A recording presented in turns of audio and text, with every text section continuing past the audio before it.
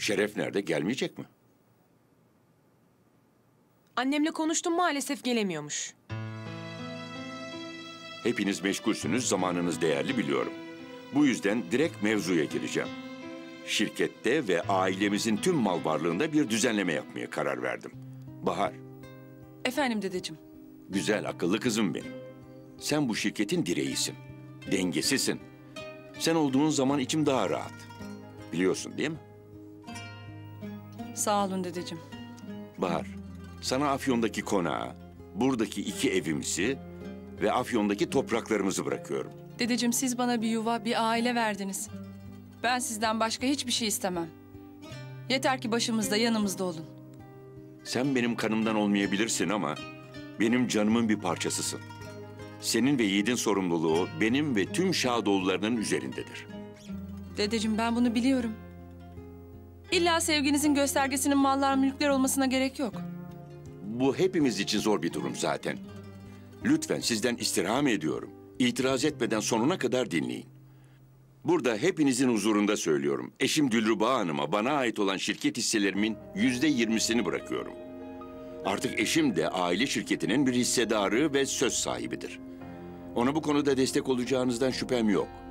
Ayrıca Dilruba Hanım ölene kadar ailesiyle birlikte yalıda kalacak. Yalının kullanımında yasal olarak onların da hakkı var. Uygar Bey'le hazırladığımız vasiyet uyarınca Dilruba'ya ve ailesine her ay şirket bünyesinden bir ödeme yapılacak.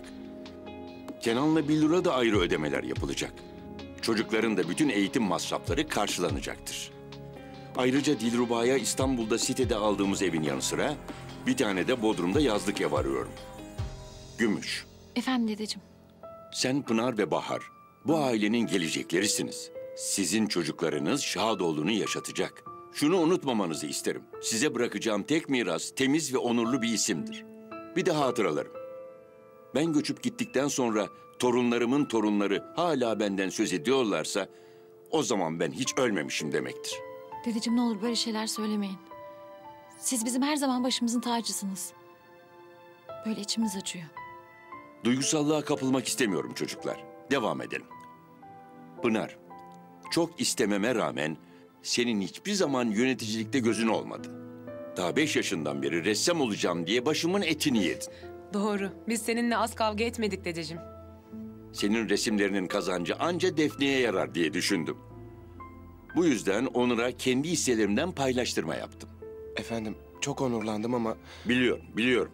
Sen de gerek yoktu diyeceksin. Var ki buradayız. Bir sessiz dinleyemediniz yani. Tamam dedi. Dinliyoruz. Ayrıca size yeni bir konak hediye etmek istiyorum. Ne de olsa bana aileniz daha büyüyecekmiş gibi geliyor. Dedeciğim daha neler? Yeter iki tane çocuk çok bile. vallahi bence haklısınız efendim. Bir kızımız daha olsa hiç fena olmaz.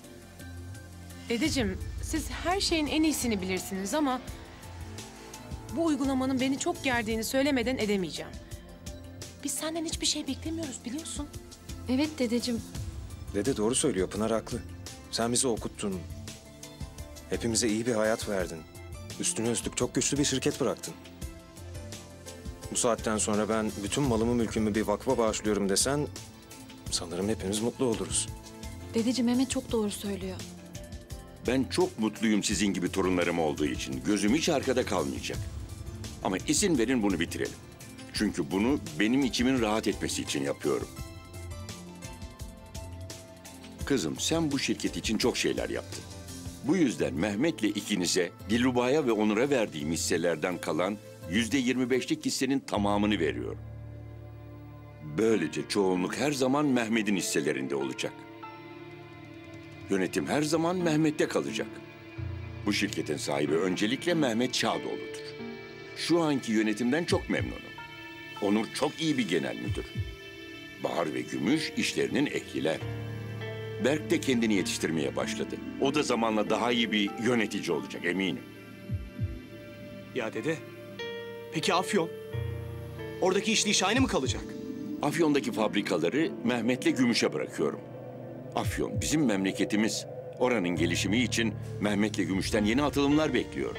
Ya dede, peki ya ben? Benim karım? Bizim bir değerimiz yok mu? Bana hiç mi bir şey bırakmıyorsun? Senin her şeyin var efendi. Babandan kalan Afyon'daki ve İstanbul'daki tüm mallar senin. Ya peki hisseler? Dede bu yaptığın adalet mi? Babamın bütün hisselerini bu yaşlı kadınla baş yardakçıya bıraktın. Berk, Berk çabuk özür dile. Beni daha fazla sinirlendirmek istemiyorsan sus. Ben bu ailedeki iki yüzlülük ve çifte standarttan bıktım. Hepinize lanet olsun.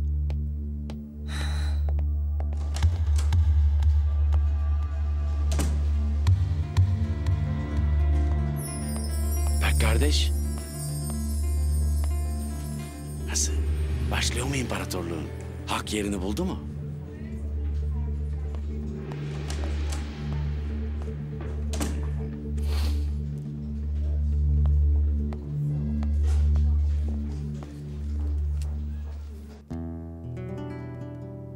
dedeciğim lütfen üzmeyin kendinizi. Terbiyesiz herif.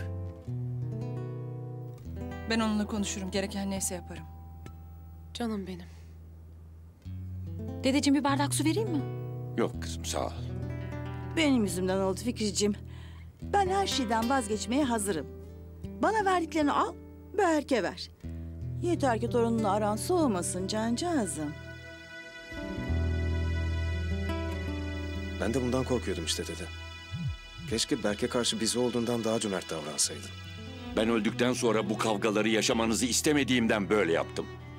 Hiçbir Şahadoğlu kendisine bir şeyin verilmesini beklemez. Çalışır ve alır.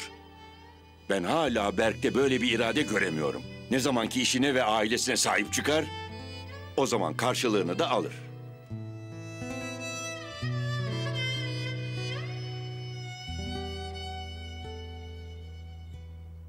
Ya bana kızıyorsun ama hep ben haklı çıkmıyor muyum söyle. İşte görüyorsun olanlar ortada. Ya tamam Didem. Zaten sinirim tepemde. Bir de sen başlama.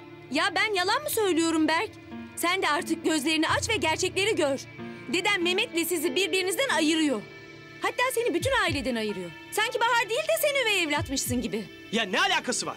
Ablamı karıştırma bu işe. Ya Kardeş, sen öyle çekip gidince telaşlandım. Ya iyiyim ben Kenan abi. Sağ ol. Ne iyisi. Baksana yüzün bembeyaz un gibi olmuşsun. Yenge, sen bize iki bardak kap ha. Ya sen de isteyeceğim ama bebeğe yazık olur. Biz abimle içelim, keyfimiz yerine gelsin. Heh. aman Berk iyi olsun da ben hemen gideyim getireyim bardakları. Ne oldu hele bir anlat. Şş, derdini anlatmayan derman bulamaz diye boşuna dememişler abicim.